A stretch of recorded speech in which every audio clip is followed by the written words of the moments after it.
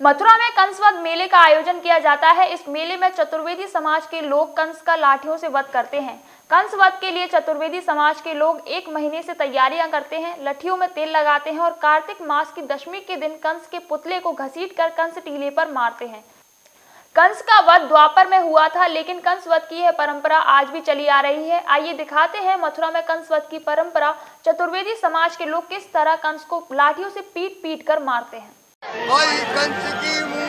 मथुरा में कंस वध की परंपरा सैकड़ों वर्ष पुरानी है। चौत्रवेजी समाज के लोग कार्तिक मास के शुक्ल पंचमी के दसवीं के दिन कंस का वध करते हैं और देखो कि एक महीने से तैयारी चलती है और आज कंस का वध होने वाला है। ये लठिया, एक महीने से लठिया में तेल लगाया जाता है। बाकायदा चतुरी समाज के लोग पूरी तैयारी करते हैं और ये परंपरा द्वापर में जब भगवान श्री कृष्ण और बलराम ने कंस का वध किया था, इसी स्थल पर आप देख रहे हैं कि ये प्रतीकात्मक पुतला कंस का इन तस्वीरों में आप देख रहे हैं कि चतुर्वेदी समाज के लोग यहीं पर कंस का वध करते हैं। होली गेट के समीप कंस की ये रंगशाला थी यहाँ पर और रंगशाला पर चतुर्वेदी समाज के लोग प्रतीकात्मक पुतले को घसीट कर लाते हैं और फिर लाठियों से मारते हैं।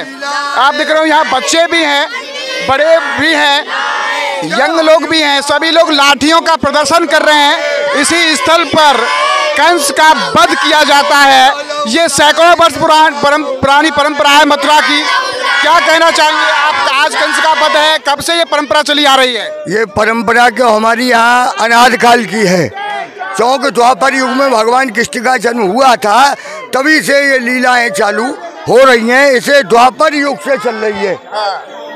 ये कंस का मेला हमारे यहाँ द्वापर युग का है, कृष्ण काल का, जो आज तक बरकरार और जोशीले भवनों से चालू है बराबर लगेज है। चतुर्वेदी समाज के लोग कब से तैयारी करते हैं? किस तरीके की तैयारी करते हैं? चतुर्वेदी समाज के लोग हमारे यहाँ रामलीला का जो दशहरा होता है जैसे रावण मरता है वैसे ही कंस के इंतज़ार में तैयारियाँ चालू हो जाती है तो अभी कुछ देर में यहाँ पर कंस का वध होगा हाँ कुछ देर में कंस का वध होगा कृष्ण बलराम वहाँ से चल दिए अच्छा। छत्ता बाज़ार से हाँ। वो या अम्बा खार में नीचे आते हैं और राजा कंस को चैलेंज देते हैं वो ऐसे टाल ठोकते हैं जैसे ही भगवान कृष्ण बलराम टाल को ठोकेंगे।